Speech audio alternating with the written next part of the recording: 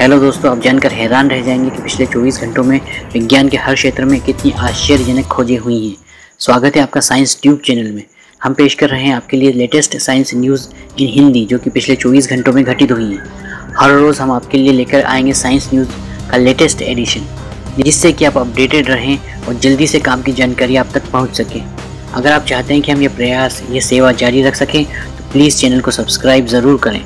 Notification bell को click करें और वीडियो को अपने दोस्तों के साथ लाइक और शेयर भी करें। यकीन मानिए दोस्तों आपके प्यार और सहयोग मिलने पर ही हम यह सेवा जारी रख सकेंगे। दोस्तों अगर आपको कोई साइंस स्टोरी पसंद आए तो प्लीज़ कमेंट करके अपने थॉट्स ज़रूर शेयर करें ताकि हमारे देश में वैज्ञानिक सोच समझ को बढ़ावा मिले।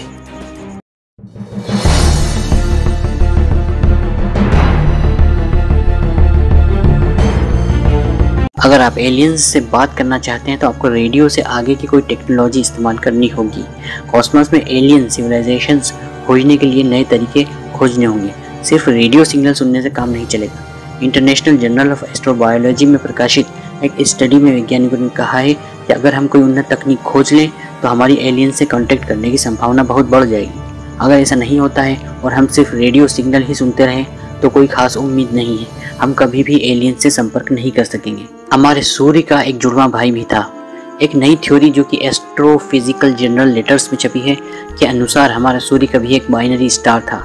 मतलब उसका एक जुड़वा तारा भी था, जो एक दूसरे के चक्कर लगाते थे वैज्ञानिक कहते हैं कि सूर्य की तरह के तारे अक्सर बाइनरी पेयर्स में पाए जाते हैं। सौरमंडल के चारों ओर आर्ट क्लाउड का होना भी इसी ओर इशारा करता है। न्यू गिनी के सिंगिंग जंगली कुत्ते की नस्ल को एक्सटिंक्ट मान लिया गया था।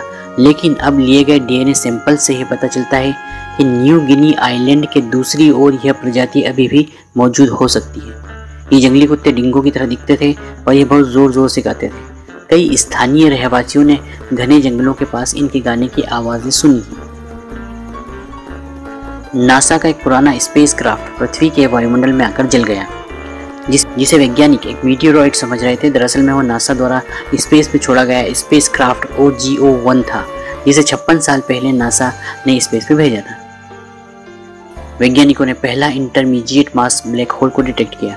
वैज्ञानिकों ने ऑब्ज़र्व किया कि दो छोटे ब्लैक होल्स के आपस में मिल जाने से एक इंटरमीडिएट मास ब्लैक होल का जन्म हुआ और अब तक की रिकॉर्ड की गई सबसे तीव्र ग्रेविटेशनल वेव उत्पन्न हुई। इस नए जन्मे ब्लैक होल का मास एक सौ बयालीस सोलर मास नापा गया। वैज्ञानिकों की टीम, जो कि लीगो साइंटिस्ट टीम और वर्गो कोलेबोरेशन के नाम से जानी जाती है, ने यह खोज की है। आपकी फेवरेट जीन्स समुद्र को प्रदूषित कर रही है। आजकल भले ही जीन्स का फ़ैशन बढ़ता जा रहा है, लेकिन वैज्ञानिकों ने रिसर्च में यह पाया है कि जब आप अपनी जीन्स डेनिम को धोते हैं तो बहुत छोटे फाइबर्स वातावरण में चले जाते हैं। वैज्ञानिकों ने पाया कि आर्कटिक के समुद्र में इस तरह के फाइबर्स की मात्रा बढ़ती जा रही है। हनी बी के जहर में वैज्ञानिकों ने पाया एक ऐसा मॉलिक्यूल जो कि ब्रेस्ट कैंसर सेल को नष्ट कर देता है। हमें से लगभग सभी को मधुमक्खी ने कभी ना कभी डंक ज़रूर मारा होगा, जिससे भयानक जलन और सूजन हो जाती है। लेकिन अब एक नई रिसर्च में पता चला है कि मधुमक्खी के इसी जहर में एक ऐसा अनोखा मॉलिक्यूल पाया जाता है, जो कि ब्रेस्ट कैंसर सेल को मार देता है। इस खोज से यह बात फिर साबित हो जाती है कि नेचर में कई केमिकल ऐसे पाए जाते हैं, जो अब इंसानों के काफ़ी काम आ सकते हैं। एस्ट्रोनॉमर्स ने सोचा था कि उन्होंने जो रेड ड्वार्फ्स खोजा है, वह सुरक्षित है पृथ्वी जैसे हैबिटेबल जोन प्लैनेट्स के लिए, लेकिन वे गलत थे। हबल स्पेस टेलीस्कोप से किए गए नए रिसर्च से यह बात निकलकर सामने आई है कि हमारे पड़ोस में स्थित red dwarf star system G J eight eight seven पृथ्वी जैसे ग्रहों के लिए सेफ़ नहीं है। यह इतना शांत नहीं है जैसे कि पहले सोचा गया था। इस रेड ड्वार्फ के दो एक्सो भी हैं। हमारी गैलेक्सी मिल्की वे की सबसे करीबी दोस्त गैलेक्सी एंड्रोमेडा के चारों ओर एक विशाल का हालो पाया गया है, जो कि गर्म गैस का बना है। गैलेक्सी के चारों ओर पाए जाने वाले इस गैलेक्सी से भी बड़े लाखों प्रकाश वर्ष के दायरे में फैले इस बादल को वैज्ञानिकों ने सी जी एम नाम दिया है, सरकम गैलेक्टिक मीडियम।